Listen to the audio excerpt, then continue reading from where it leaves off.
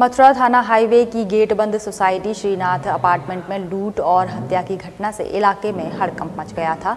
घटना की गंभीरता को देखते हुए वरिष्ठ पुलिस अधीक्षक मथुरा ने अपराधी को पकड़ने के लिए टीमें गठित की गई थी, जिसके फलस्वरूप सीसीटीवी की मदद से आज सोमवार को अपराधी गिरफ़्तार कर लिया गया है। थाना हाईवे की गेट बंद सोसाइटी श्रीनाथ अपार्टमेंट में लूट और हत्या की घटना से इलाके में हड़कंप मच गया था।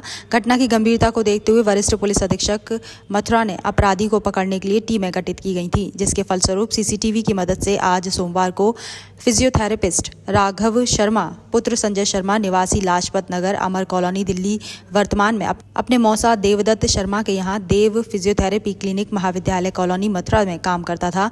मृतक के घर मृतिका के ससुर की फिजियोथेरेपी के लिए गया था। मौका पाकर चाकू से मृतका के गले और हाथों की नसें काट दी जिससे उसकी मौत हो गई। उनके पहने हुए गहने और चार हज़ार चार सौ लेकर फरार हो गया था। राघव शर्मा को गिरफ़्तार कर विधिक कार्यवाही कर जेल भेजा गया। और जब इस घटना का अनावरण हुआ है तो ये तथ्य सामने आए हैं कि आ, इनके यहाँ फिजियोथेरेपी हेतु एक व्यक्ति जाता था जिसका नाम राघव शर्मा है।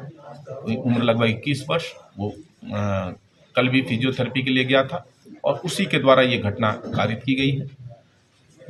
घटना अभियुक्त को गिरफ़्तार कर लिया गया है और घटना में जो भी सामान लूटा गया था, वो सारी ज्वेलरी बरामद कर ली गई है, जो भी डॉक्यूमेंट्स गए थे वो बरामद कर लिए गए पाँच हज़ार रुपये नगद लूटे जाने की बात लिखाई गई थी, उसमें चौवालीस सौ कैश भी बरामद कर लिया गया।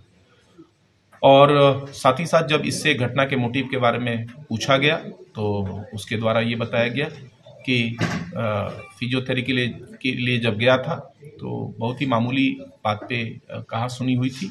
इसके बाद इसने जाके किचन से चाकू निकाला और उसी चाकू से प्रहार करके जो मिसेज जैन है, उनकी हत्या कर दिया और हत्या कर देने के बाद उनके शरीर पे जो भी ज्वेलरी थी, चाहे वो चूड़ियाँ, नाक की, कान की ज्वेलरी, चेन इत्यादि जो है, वो लूट के और जो दराज में कैश और पर्स वगैरह थे विजिटिंग कार्ड्स ड्राइविंग लाइसेंस इत्यादि, वो पाउच लेके ये वहाँ से फरार हो गया।